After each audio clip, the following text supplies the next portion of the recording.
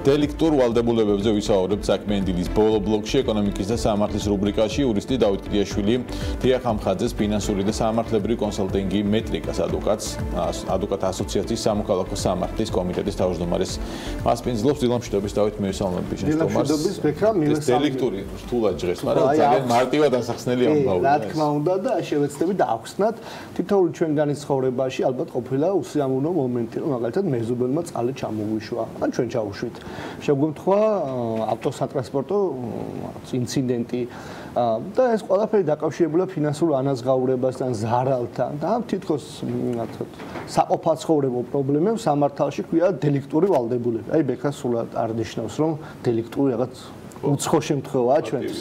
დიახ, სწორედ დელექტურ ვალდებულებთან დაკავშირებით ვისაუბრებთ ჩვენ დღევანდელ სტუმართან ერთად დილამშვიდობის.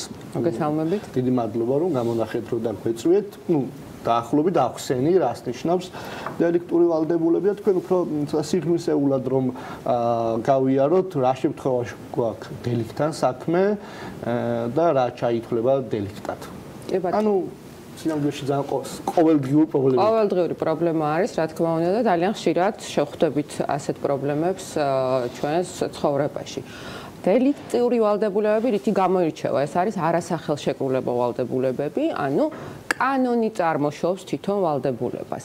კანონი გვეუბნება, რომ თუ რაღაცას დავარღვევთ, სხვის უფლებას ხელუყოფთ, სხვის სამართლებრივ სიკეთეს შევეხებით, ჩვენ ვალდებული ვართ, რომ ავანაზღავროთ ზიანი. თუ რა თქმა უნდა, ამას ზიანი გამოიწვია. როგორც წესი დელექტური ვალდებულების ასანაზღაურებად, როდესაც მიმართობთ სასამართლოს, 4 პირობა უნდა არსებობდეს ამის. ხო, აი მაგალითად მომადგა ზიანი, ხო, მაგალითად მეზობელმა წყალი ჩამოუშვა, გამიფუჭდა რემონტი. როგორ ვიქცევი? როგორ ვიქცევით? მივდივართ სასამართლოში და ვამტკიცებთ რამოდენიმე ფაქტს. პირველი, ეს არის ზიანი, მეორე ეს არის მარცხაწინააღმდეგო ქმედება, მესამე ეს არის კავშირი ზიანსა და მარცხაწინააღმდეგო ქმედებას შორის. აი მარცხაწინააღმდეგო და აშუთხუაში არის წყალი რომ ჩამოვიდა, ხო? კი ბატონო, მარცხაწინააღმდეგო ქმედება არის ეგ და შემდეგ ბრალი. აა აუცილებლად უნდა არსებობდეს ბრალი, ან გაუფრთხილებელი ბრალი უნდა არსებობდეს, ან განზრახი ბრალი. ამ ერთ-ერთი პირობის არსებობა, ამ ოთხი პირობიდან ერთ-ერთის გამორიცხვა უკვე ნიშნავს, რომ ჩვენ ზიანის ანაზღაურებას ვერ მივიღებთ. შესაბამისად, იმისთვის რომ სასამართლოში მივიდეთ, ჩვენ უნდა შევქმნათ მტკიცებულებები იმისთვის, რომ ვამტკიცოთ ეს ფაქტები. მოსარჩელე ამტკიცებს სამ ფაქტს, ერთ ფაქტს ამტკიცებს მოპასუხე მხარე. ანუ მოსარჩელე, როდესაც მიდის, ამბობს, რომ მე მომადგა ზიანი, ეს ზიანი დათვლილი უნდა იყოს სპეციალური დოკუმენტით, ან ექსპერტიზის დასკვნით, ან ცოდნებით, ასე ვთქვათ.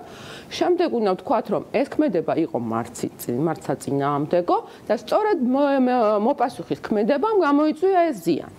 მოპასუხე კი თავისთავად ამტკიცებს, რომ მას ბრალი არ მიუძღვის. აი დამჩა მოშვებული. დამჩა მოშვებული, მაგრამ ეს ბრალია. აჰა. ეს არის გაუფრთხილებელი ბრალი დამჩამოშვებული. ან თავისთავად დაზიანდა მილი. ესეც ბრალია იმიტომ რომ ჩვენ დროულად არ შევაკეთეთ ეს მილი. და უნდა გამორიცხოს კიდე მარწინაამდეგობა ის უნდა თქვას რომ შეიძლება ბრალი არსებობდეს მაგრამ არ არსებობდეს მარცაწინაამდეგო ქმედება. ანუ კანოსაწინაამდეგო ქმედება არ არსებობდეს და ამისთვის გამოირიცხება უკვე ზიანის ანაზღაურება ახსენე დავით სატრანსპორტო საშუალებით მიყენებული ზიანი. ამ ხრივ კიდე ძალიან საინტერესო ყოველდღი უფრო ხშირი არის. კი ბატონო, ხშირი არის ძალიან, როდესაც ჩვეულებრივი ავტოავარია ხდება. ვიძახებთ პატრულს, ის პატრული აფიქსირებს სამართალ დარღვევას, ბრალეულ პირს აფიქსირებს და ჩვენ ამითი შეგვიძლია წავიდეთ სასამართლოში. მაგრამ აქ უშვებს კანონი ერთ გამონაკლისსაც.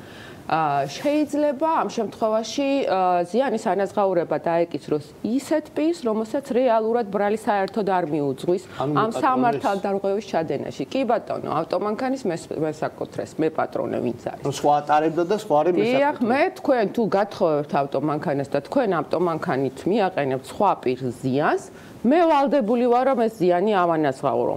ამას ქვია ბრალის garaშე პასუხისგებლობა და რატომ იხილო, რატომ ხდება ეს? კანონი ავტომანქანას განიხილავს როგორც მომეტებული საფრთხის წყაროს. მომეტებული საფრთხის წყარო რას ნიშნავს? ეს არის ნივთი ან შენობა ან ნაგებობა, რომელზეც ადამიანის კონტროლი კონტროლი შეუძლებელი არის.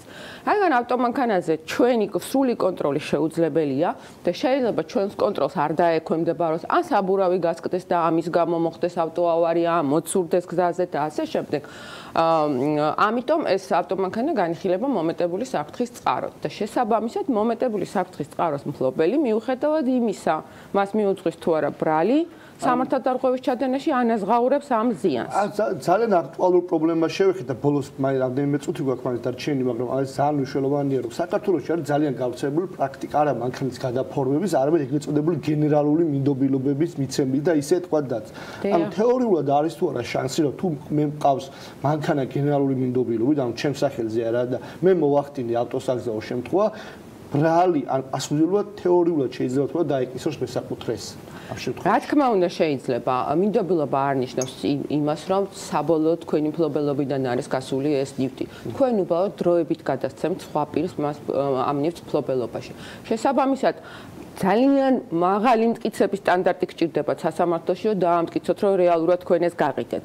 რაც ფაქტიურად შეუძლებელი ხდება ხოლმე და ამიტომ ყოველთვის ვურჩევ ხოლმე ჩემს მეგობრებს, რომ არასოდეს არათხოვოთ ნივთი ისეთ პირს, რომელსაც არ ახართ დარწმუნებული, რომ სწორად მართავს ავტომანქანას, იმიტომ რომ თქვენ მიუხედავად იმისა, რომ სახში ძიხართ და ტელევიზორს უყურებთ, შეიძლება ზიანი სანახაურება დაგიქცეთ. მაგრამ ძალიან საინტერესო მომენტები იყო, ალბათ დარწმუნებული ვარ ჩვენი მაყურებელი მაცხოვრებლები გაითვალისწინებენ ამ საფრთხეებს და უფრო მეტი პასუხისმგებლობით მოეკიდებიან როგორც წყლისშაშვებას, ისე მანქანის სხისთვის მფლობელობაში გადაცემას. ჩვენ გავაგრძელებთ ამ თემებზე საუბარს ძალიან ბევრი კონკრეტული кейსი შეიძლება იყოს და გარკვეულ პრაქტიკულ რჩევებს მივცემთ მაყურებელს, როგორ აიცილოს ეს ყველაფერი თავით. დიდი მადლობა ბექა, დავემშვიდობები მაყურებელს. მადლობა დავით მისტომარს